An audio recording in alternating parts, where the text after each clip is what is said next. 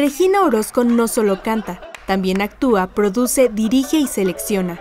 Es amante de la naturaleza y de los perros, por eso tiene ocho y todos adoptados. Más que completa, soy muy metiche. ¿Ya te invitaron al hueso? No. No es cierto. Ya me canso de llorar y no amanece. Es poseedora de una de las sonrisas más francas en el medio del espectáculo, pero también destaca por ser uno de los talentos más consagrados y propositivos en México.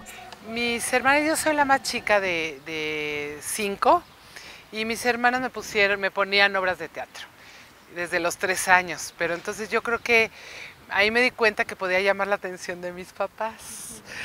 Y eh, a los 6, 7 años nos fuimos a vivir a Ciudad Satélite, cuando apenas Satélite empezaba. Y, este, y había una iglesia donde, donde había un coro y había obras de teatro y musicales. Me seguí, me seguí, me seguí. Su primera incursión en el mundo del espectáculo fue al lado de uno de sus hermanos a finales de la década de los 70. Lo hizo al ritmo del cabaret francés del siglo XIX mediante la revista musical Ilusión. El sacerdote de la iglesia fue quien los dirigió. Yo era muy feliz y me acuerdo que, me, que se me olvidaban los, los, eh, los diálogos y mi hermano se contestaba solito.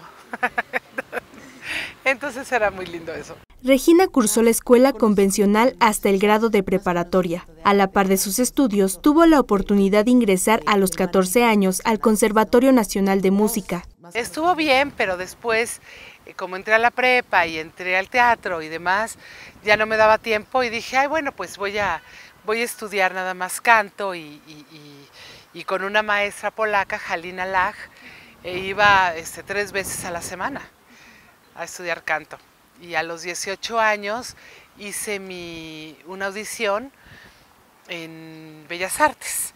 Y a los 20 hice mi, mi debut.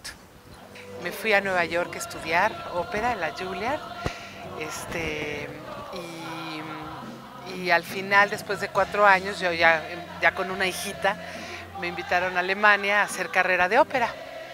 Y decidí que no, me regresé aquí a México a hacer mis cosas porque no quería, yo no quería tener una carrera de una cantante nada más, eh, nada más hacer ópera de una cantante, no quería una carrera operística. El cabaret era como mi, mi era como mis, mi, eh, como parte de, del sentido de lo que tenía que hacer. Y la ópera era muy limitado para mí, para mi vida. En 1991, de la mano del director Alfonso Cuarón, incursionó en el cine a través de la película Solo con tu pareja, pero fue bajo la dirección de Arturo Ripstein que halló al que considera es el personaje más importante en sus más de 40 años de trayectoria, Coral Fabre. La que me ha calado más, la que me ha dado más, eh, em, pues... Eh, que puedo decir que es una experiencia fuerte y profunda, es profundo Carmesí, ¿no? Con Arturo Ripstein, porque bueno, fui el personaje protagónico y el personaje era una belleza, no una belleza, era terrible, pero para mi experiencia fue una, un regalo para mi vida. Este personaje era una, la pareja, bueno, se enamora de se enamora por carta de, un eh, gigoló, que era Daniel Jiménez Cacho, y los dos se juntan para eh, asesinar a mujeres y robarles. Qué fortuna la suya controlar así su cuerpo.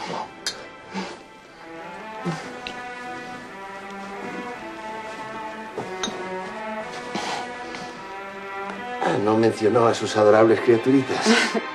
es que son tan buenas, tan, tan calladitas que ni me acuerdo que existen. Ya, claro. ¿Y los mantiene? Soy enfermera, de los enfermos terminales graves y esas cosas. Hasta fui encargada de la morgue. Hay veces que no me doy cuenta de lo que, de lo que hago, de lo que he hecho, como que no tengo la dimensión, porque como que estoy picando, soy picaflor. Eh, pero cuando de repente veo y digo, ay, ay, qué bien, ay, qué bueno, estoy muy agradecida de que haya tenido como el carácter de, lanzada, de lanzarme hacia, hacia mundos que no eran seguros y lanzarme hacia el, hacia el precipicio. Este año Regina Orozco estrenará el álbum Pedazos del Corazón, que grabó hace cuatro años con Omar Portuondo y en el que interpretan canciones de Agustín Lara, Álvaro Carrillo, entre otros.